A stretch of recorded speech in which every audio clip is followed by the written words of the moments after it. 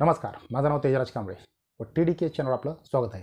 आज आपण केरळमधील घटना पाहणार आहोत. केरळमधील कोझिकोडे येथील कुडाथाई लासमादा चर्चजवळ एक कब्रस्तान आहे. त्या कब्रस्तानमध्ये चार ऑक्टोबर दोन हजार एकोणीसला सकाळी सकाळी एक व्यक्ती पोलिसांची टीम फॉरेन्सिकची टीम व मीडिया कॅमेरामन काही मजूर ह्या सर्वांना घेऊन येतो. मग हे इथं आल्यानंतर तो व्यक्ती ज्या कबरीकडे दाखवल बोर्ड दाखवल इशारा करेल ते कबर हे खोदायला सुरू करतात. मग आता हे सुरू असताना इन कॅमेरामध्ये सर्व काम चालू असतं यांचं. मग हे लोकांना ज्यावेळेस कळतं लोकही कुतूहलानं तिथे येतात. व बघतात की त्यांना वाटतं की अरे ग- गाडलेले ते का उकरून काढतात? काय? नक्की काय याच्या मागचं यांचं उद्देश काय मग आता टोटल सहा कबरी असतात टोटल सहा मुर्दे बाहेर काढतात कबरीतून. मग सहा मुर्द्यामध्ये कोण कोण असतं? तर अनामा थॉमस व त्यांचा नवरा टॉम थॉमस. हे असतात. त्यांचा एक मुलगा पण असतो रॉय थॉमस.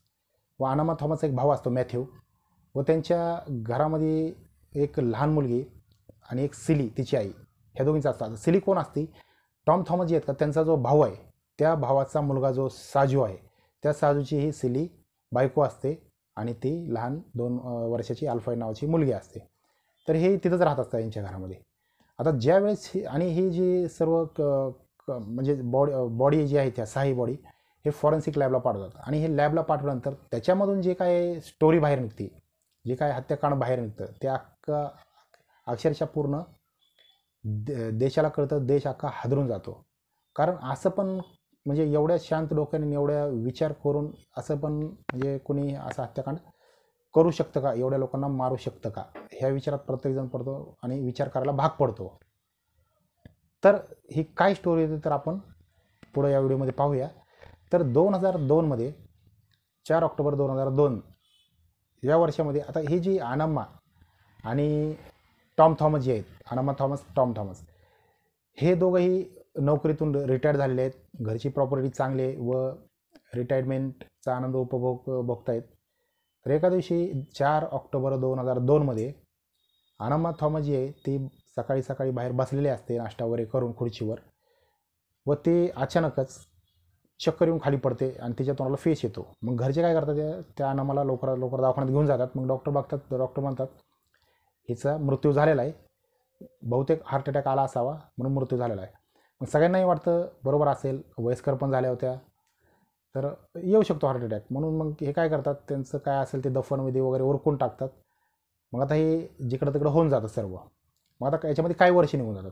आता काही वर्ष निघून गेल्यास मग दोन हजार आठचं वर्ष येतं. सव्वीस डिसेंबर दोन हजार आठ. आता दोन हजार आठला काय होतं?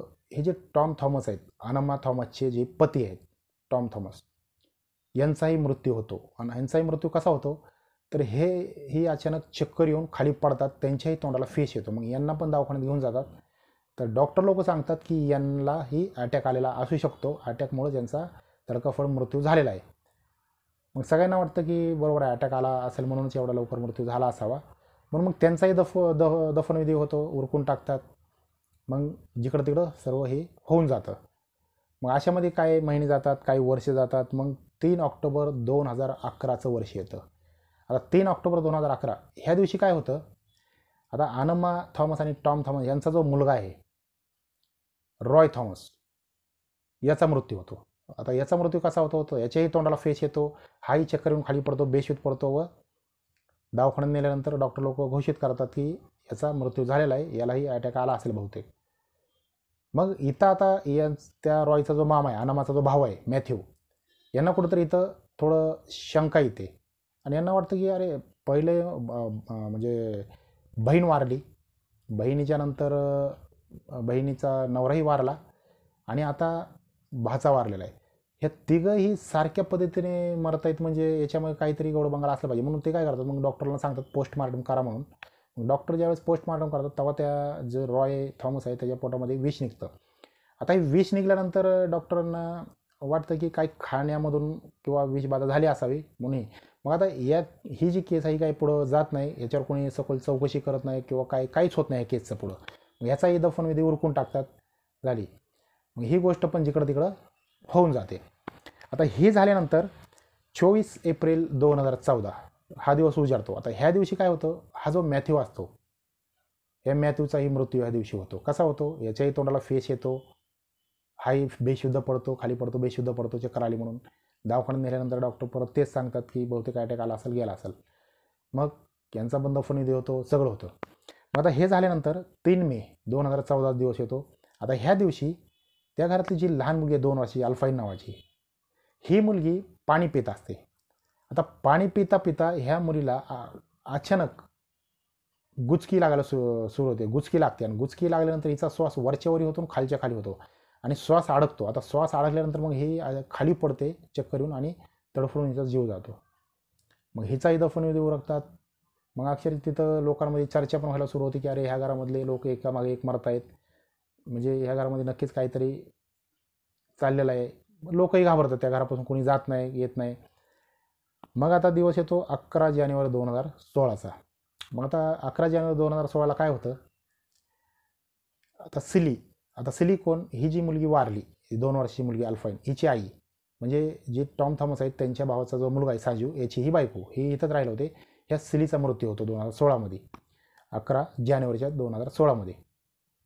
मग आता ही मृत्यू झाल्यानंतर मग सगळ्यांना वाटतं हिच्या तोंडाला फेस येतो हे खाली पडते चक्कर येऊन बेशुद्ध होते आणि मृत्यू होतो. सगळ्यांना वाटतं की हे पण अशीच काहीतरी झालं असेल वारली असेल. मग सगळं जिकडं तिकडं होतं सगळं व्यवस्थित होतं मग परत दिवस आपले एकामागे एक जात राहतात. मग वर्ष येतं दोन हजार सतराचं. आता दोन हजार सतराचं वर्ष आल्यानंतर आता त्यांच्या घरात राहते फक्त कोण? एक जॉली नावाची त्यांची सून कोणाची? टॉम थॉमसची जी की रॉय थॉमसची बायको आहे. ती असते आता तीच उरलेली असते ह्या घरामध्ये. आणि तो साजू साजू थॉमस जो की टॉम थॉमसच्या भावाचा मुलगा आहे. त्याची बायको वारलेली मुलगी वारलेली हिचं पण नवरा वारलेला सासू सगळं सगळे वारले आहेत. म्हणजे दोनच दोघंच असतात. जॉली काय करते? साजू आणि जॉली हे दोन हजार सतरामध्ये लग्न करतात. विवाहबंधनात अडकतात. मग आता ह्यांचं लग्न झाल्यानंतर आता अमेरिकेमध्ये रोजो थॉमस आहे. हा कोण आहे Rojo Thomas? Annamma Thomas Tom Thomas यांचा हा धाकटा मुलगा रॉय थॉमसचा धाकटा भाऊ आणि जॉलीचा दीर.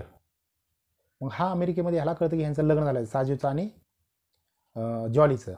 पण याला थोडंसं वेगळं वाटतं. अरे म्हणतो की दोन हजार सोळामध्ये तर आत्ता वारलेली आहे सिली आणि त्याच्यानंतर हिचा नवरान ही माझी जी भाऊज आहे ती लगेच लग्न करत आहे दोन हजार मग नक्कीच काहीतरी गौड बंगाल आहे काहीतरी. कारण एकामागे एक एवढे लोक वारलेले आहेत एकसारखंच वारलेले आहेत. आणि हे झाल्यानंतर हे लगेच लग्न करून मोकळे झालेत. खुशीने आपला आनंद साजरा करताय सर्व. मग तो काय करतो? अमेरिकेहून इंडियामध्ये येतो. इंडियामध्ये आल्यानंतर तो तडक पोलिसांकडे जातो आणि पोलिसांना सांगतो की साहेब म्हणतो दोन हजार दोनमध्ये माझी आई वारली होती. त्यानंतर दोन हजार आठमध्ये वडील वारले. आणि दोन हजार आठच्या नंतर दोन हजार अकरामध्ये माझा भाऊसुद्धा वारलेला आहे मोठा भाऊ. आणि हे जे वारले यांचा जो मृत्यू झाला हे एक एकसारखा झालेला आहे.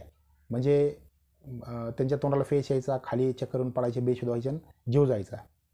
मग याच्या मागं मला कुठंतरी शंका येते. कुठंतरी माझ्या मनात शंका उत्पन्न होते की यांचं काहीतरी बरं वाईट झालेलं आहे. कुठंतरी पाणी मुरतं आहे म्हणून.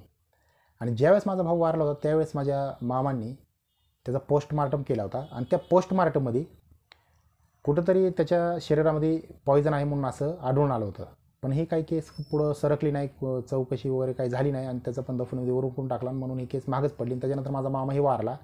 त्याच्यानंतर मुलगी वारली दोन वर्ष आणि त्याच्यानंतर माझी म्हणजे चुलत भावाची बायको वारली. तर माझी अशी इच्छा आहे की आपण ह्या केसचा तपास करावा म्हणून तो कंप्लेंट दाखल करतो त्यांच्याकडं. मग आता पोलिसांना एक त्याच्यामध्ये कुठंतरी तथ्य वाटतं की याच्यामध्ये काहीतरी कुठंतरी पाणी मुरत असणार आहे म्हणून. मग पो पोलिसही काय करतात?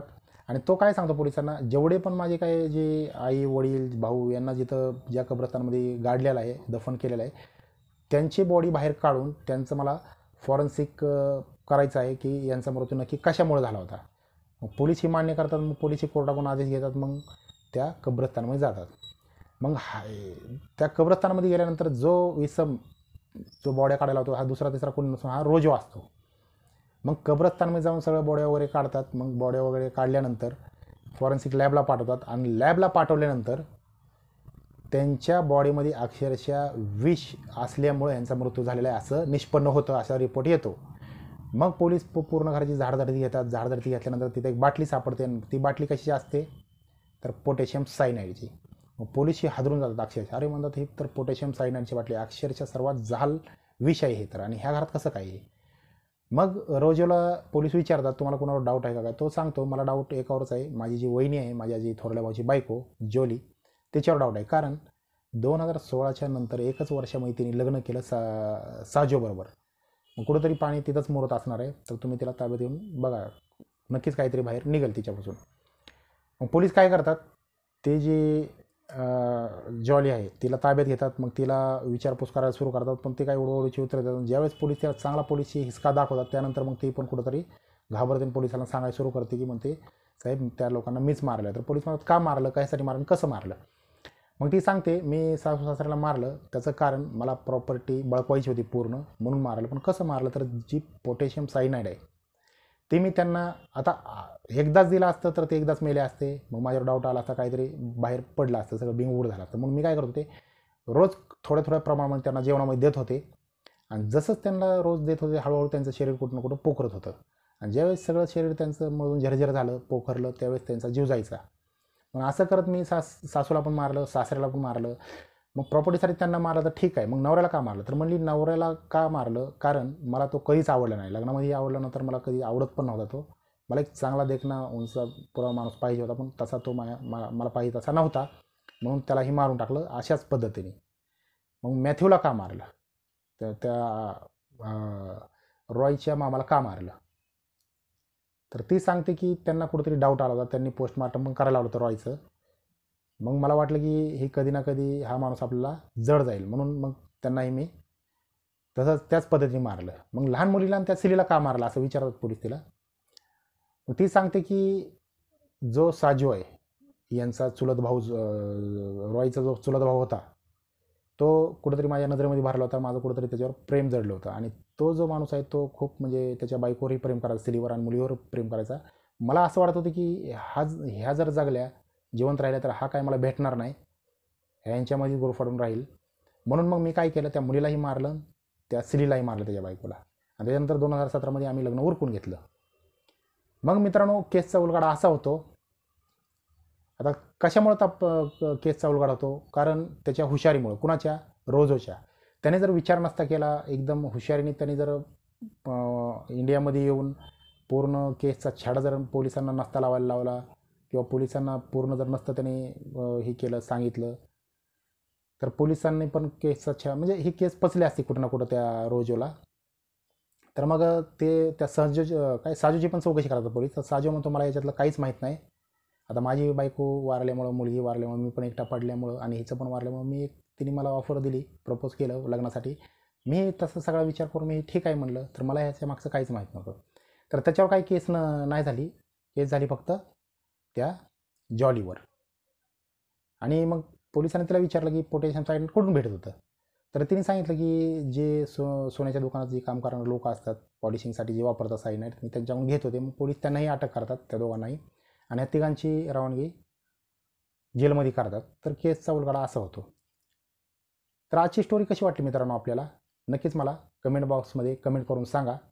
व माझ्या चॅनलला सबस्क्राईब करा व बेल बटन प्रेस करायला विसरू नका.